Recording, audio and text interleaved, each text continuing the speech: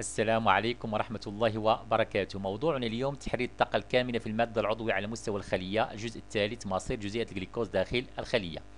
إذا ربما اتضح لكم ذلك نحن نتواجد الآن على مستوى الخلية. إذا الجبلة الشفافة عضي الميتوكوندري التي يتشكل من الغشاء الخارجي الغشاء الداخلي الميتوكوندري ثم الفراغ الذي يوجد بين الغشائين يشكل ما يسمى بالحيز البيغشائي أما الفضاء الداخلي الميتوكوندري فيشكل ما يسمى بال matrice نسجل كذلك أن الغشاء الداخلي الميتوكوندري يتخذ أشكال عبارة عن طيات إذا صح التعبير تسمى بالأعراف والتي تزيد من مساحة الغشاء الداخلي للميتوكوندري.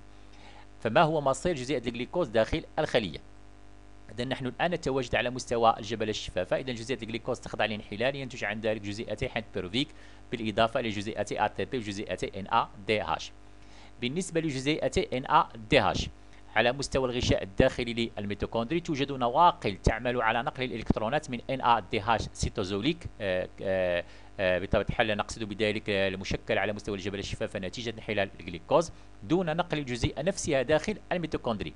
هذه الإلكترونات تمكن اختزال FAD كما نلاحظ هنا إلى FADH لكن هذه العمليات تتطلب تكلفة طاقية تساوي 1 ATP لأن NADH تمكن من إنتاج 3 ATP بينما FADH تمكن فقط من إنتاج جزيئتي ATP أريد أن أشير كذلك على أن نواقل NADH الناتجة عن انحلال الجليكوز في مستوى الجبلة الشفافة لا تدخل داخل الميتوكوندري إلا لكنها تعوض بنواقل FADH باستثناء هناك استثناء نجده في خلايا القلب وخلايا الكبد.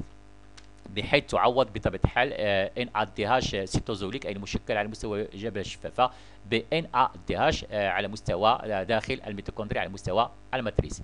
ننتقل الآن إلى مصير حمض بيروفيك. اذا فعلا يتمكن حمض بيروفيك من الدخول داخل الميتوكوندريا حيث يخضع لأكسدة حمض بيروفيك.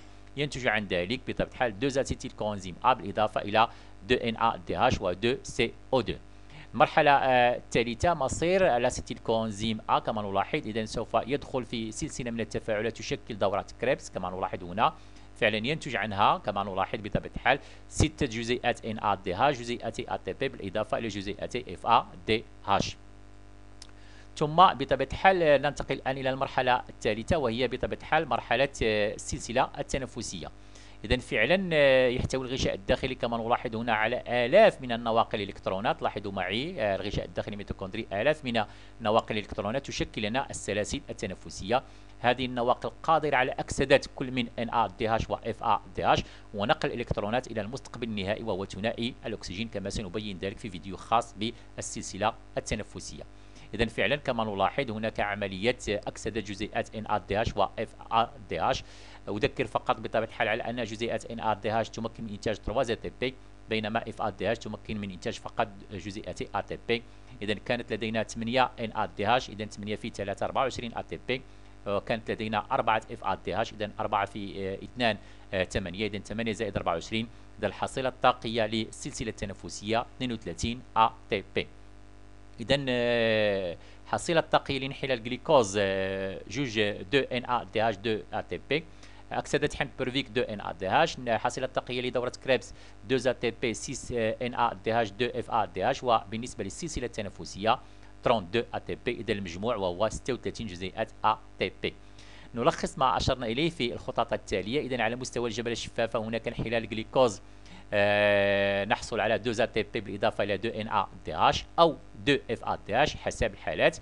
بالنسبة للمرحلة الموالية آه، بطبيعة الحال أكسدة حمض بيروفيك أو ما يسمى التفاعل الانتقالي ينتج عن ذلك بطبيعة الحال أكسدة حمض بورفيك 2 اسيتيل كونزيم بالإضافة إلى 2 إن ا دي هاش مع طرح جزيئتي CO 2 آه، على مستوى ال matrice بطبيعة الحال دورة كريبس ينتج عنها 2 تي بي بالإضافة إلى 6 إن ا دي هاش وجزيئتي FADH بالإضافة إلى طرح أربع جزيئات من ثنائي أكسيد الكربون.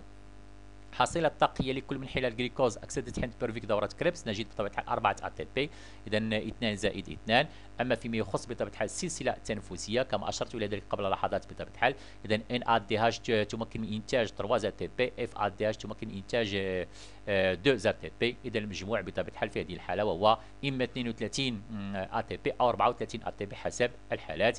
إذا المجموع الحصيلة الطاقية 32 زائد 4 وهي بطبيعة الحال 36 ا تي بي. أو إلى إذا أخذنا باعتبار الحالة الثانية أي حالة خلايا الكبد وخلايا القلب فسوف نجد بطبيعة الحال 34 زائد 4 وهي 38 ATP شكرا على انتباهكم وإلى موضوع آخر إن شاء الله.